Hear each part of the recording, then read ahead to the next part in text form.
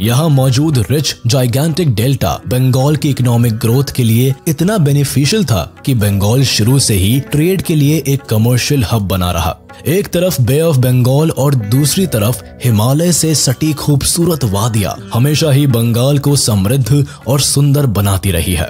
Second century से fifteenth century में इसी सिल्क रूट से बंगाल में बनने वाला सिल्क कॉटन और हैंडीक्राफ्ट आइटम्स भारी देशों में भेजा जाता था। अच्छी कनेक्टिविटी के चलते कई यूरोपियन ट्रैवलर्स भी इसी रूट से साउथ ईस्ट एशिया की यात्रा करते थे और अपनी ट्रैवल डायरीज में बंगाल की टेक्सटाइल इंडस्ट्री को टॉप क्लास बताते थे। फिफ्टीन सेंचुरी के एक पोर्चुगीज ट्रैवलर ने भी बंगाली मैन्युफैक्चरिंग की तारीफ़ की थी। हाल ये था कि अंग्रेज़ के आने से पहले बंगाल में हैंडलूम इंडस्ट्री बड़ी शान से चलती थी। फ़ेमस ट्रैवलर मार्को पोलो ने भी अपने ट्रैवल अकाउंट में बंगाल का ज़िक्र करते हुए यहाँ के कॉटन की तारीफ़ की थी। खासकर यूरोपियंस को ढाका सिटी और सोनार गाँव का मुस्लिन और मालदा और शांतिपुर का मलमल बहुत पसंद आता था।